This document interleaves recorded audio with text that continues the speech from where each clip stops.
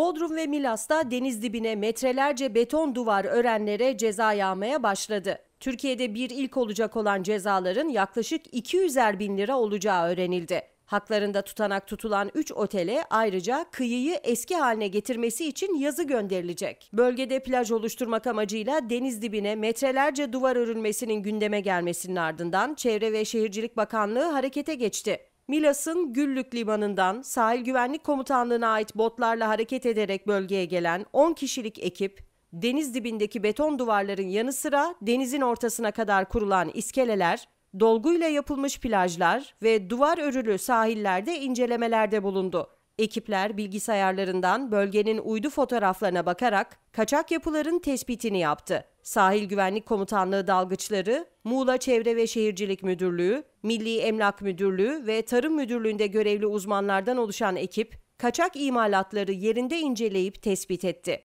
Sahil Güvenlik Komutanlığı'na ait bir botla Pina Yarımadası'na gelen Muğla Çevre ve Şehircilik Müdürlüğü ekipleri, deniz dibindeki metrelerce uzunluktaki beton duvarların yanı sıra denizin ortasına kadar kurulan iskeleler, dolguyla yapılmış plajlar, duvar örülü sahilleri görünce şaşkınlığını gizleyemedi. Ekipler sahil güvenlik botunun üzerinden bölgeyi görüntüledi.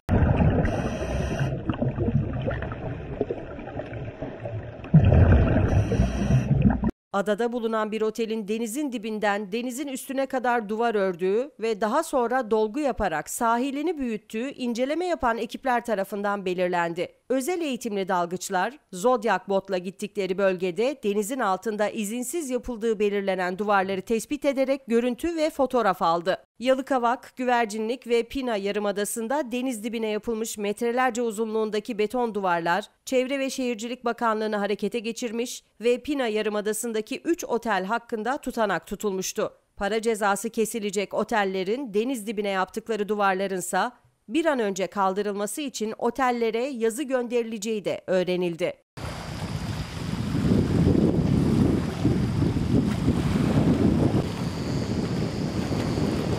Muğla Tarım Müdürlüğü ekipleri ise deniz dibindeki duvarların ekolojik dengeyi bozduğu ve Posidonya çayırlarını yok ettiği iddialarını araştıracak. Bu amaçla bölgeden su ürünleri ekipleri numune aldı.